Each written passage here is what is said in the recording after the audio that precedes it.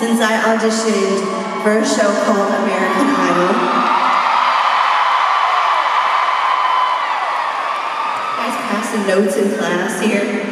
Uh, give to Carrie. Is there a different Carrie you want me to give these to? Another one. Is it me? This Carrie? Okay.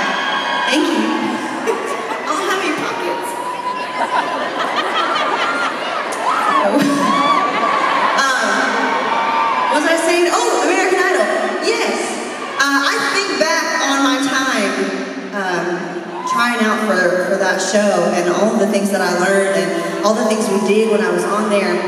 And I'm going to tell you, obviously that was a, a, moment in time that just changed the course of my life forever. And I'm so grateful that I'm here tonight, that it's led me right here. I've gotten to go to so many cool places and just sing. More than anything in life, that is what I love to do. I love to sing.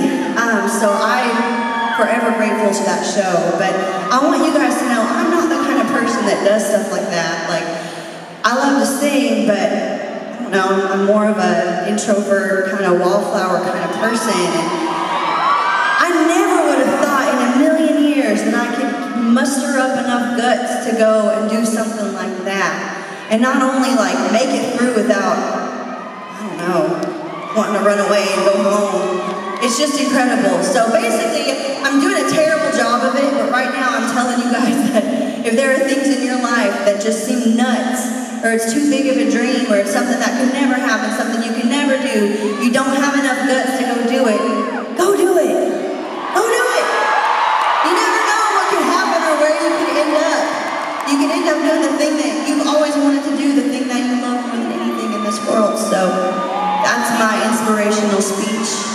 for tonight. You put these in your pocket. Let you forget them. Thank you. That's Mark, and this is Ed. And these guys have been with me for pretty much the whole journey. Um, they were part of the original band that we put together, so yay, Mark and Ed.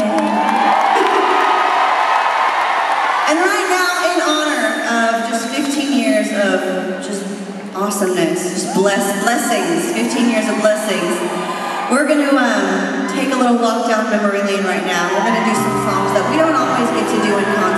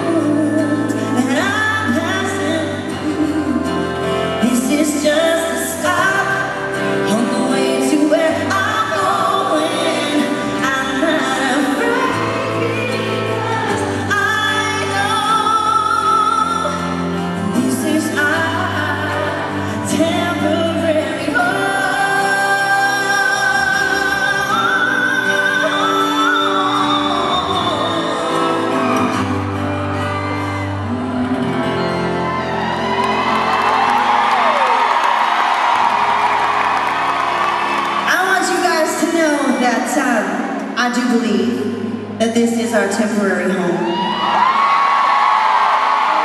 I believe we are but here a short amount of time. Um, but there's good news. I believe there is some place that is waiting for us after we are no longer a part of this world that is beautiful and amazing and more than we can ever imagine.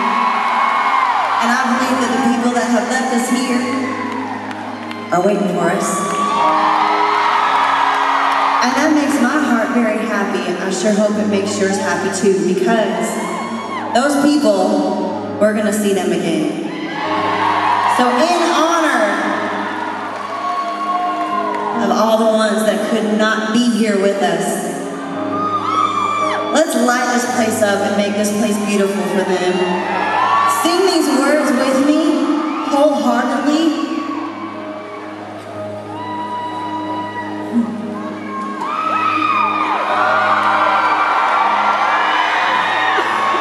Say goodbye,